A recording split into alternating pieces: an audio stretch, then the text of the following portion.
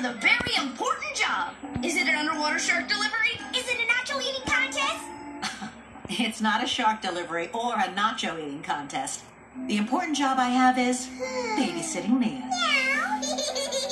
We'd love to babysit Mia. I am Mia Bovia Banana Fanophobia. Lady Foo Foo. Uh-oh. Where is Lady Foo-Foo? Lady Foo Foo. Why is her lip quivering? Ooh, it's in here somewhere.